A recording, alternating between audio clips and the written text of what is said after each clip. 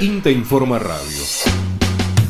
Información destacada en investigación, desarrollo e innovación presentada por el Instituto Nacional de Tecnología Agropecuaria. 12 pescadores artesanales de las ciudades de Varadero y San Pedro comercializan presas frescas y productos elaborados en un puesto de la Feria de Emprendedores en el puerto local. Para hablar sobre este tema estamos en contacto con Julia Gastelú, promotora del grupo GAL, que es el grupo de abastecimiento local, pescadores artesanales de Delta Medio, y también es especialista del INTA. Julia, ¿qué implica para los pescadores contar con un espacio para poder comercializar? Eh, buenos días. Bueno, eh, la realidad es que en esta zona del Delta no había experiencias, digamos, de, un puesto propio gestionado por los pescadores. Y bueno, en este caso también, eh, obviamente, aprobado y acompañado también al municipio, así que que implica para ellos la primera vez que pueden comerciar en un lugar que esté habilitado, que sea seguro, que sea higiénico y que además tenga un acceso sencillo para las personas que quieren comprar, porque está en un lugar visible, en donde ya funciona otra feria y bueno, en un lugar de cercanía, digamos, con el ambiente ribereño como es el puerto, con lo cual, bueno, es una experiencia, digamos, innovadora en ese sentido porque no, no hay en la zona otros puestos similares. Julia, yo en la presentación hacía mención un poco de, de lo que comercializaban, pero puntualmente, ¿qué es lo que venden? Mira, puntualmente se vende pescado fresco, pescado elaborado, obviamente de río, Sí, pescado fresco es de acuerdo al pescado, digamos, de, de, estación, digamos, a, la disponibilidad de pescado que estén en, en ese momento. Ustedes saben que hay pescados que, que, son, digamos, especies que migran y especies que son como permanentes. Ahora, por ejemplo, se está acercando la temporada de la boga, que es un pescado muy, digamos, muy solicitado por los consumidores. Eh, y después, bueno, también se comercializan obviamente otras especies, dependiendo también de las vedas y demás, pueden ser sábalo, que acá hay, hay muchísimo, patí, bueno, dorado, sí, surubí.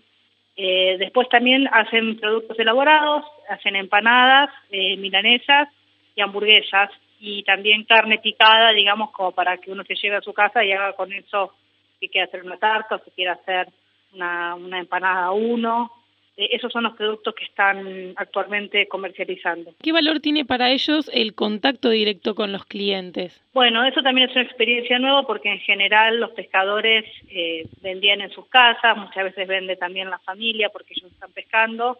Lo que organizamos en el puesto de Varadero es una, una atención, eh, se organizan en turnos rotativos, un fin de semana cada uno, con, con su familia, sí, en general participa la familia, y bueno, atienden personalmente ellos, es decir, que pueden explicarles cuándo fueron a pescar, eh, digamos, cómo pescan la pieza, son los mismos, digamos, pescadores los que están vendiendo el producto.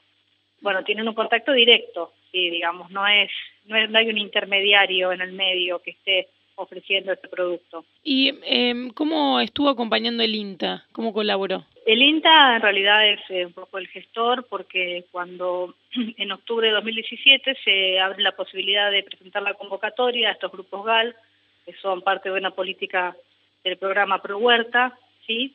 Y bueno, a partir de ahí ya se venía hablando con el INTA en la Oficina de Desarrollo de Varadero de gestionar un espacio para los pescadores en el puerto local. Un poco se unió la idea del puesto con la idea del grupo que ya te digo, obviamente es un grupo mixto, son pescadores de Varadero y también de San Pedro los que componen el grupo, y bueno, el INTA, digamos, fue gestor, digamos, y, y participe de, todo el proceso, también los acompañó muchísimo en la, en la cuestión de las libertades sanitarias, han hecho cursos de, de, valor agregado que, digamos, que les posibilitó hacerlos el INTA, y bueno, el técnico a cargo eh, es, un, es, un, técnico del INTA, que en este caso ahora es eh, Sebastián Col, que es jefe de agencia Delta, con lo cual en realidad, digamos, el INTA está presente de forma permanente. Muy bien, bueno Julia, muchas gracias por contarnos la experiencia de estos pescadores de, de un grupo GAL, ¿no?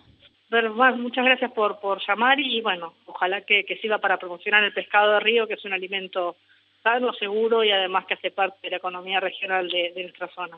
Bueno, muchas gracias, Julia. Hasta luego. Hasta luego. Conversábamos con Julia Gastelú, promotora del Grupo GAL, que es el grupo de abastecimiento local, pescadores artesanales de Delta Medio y es especialista de INTA. INTA Informa Radio.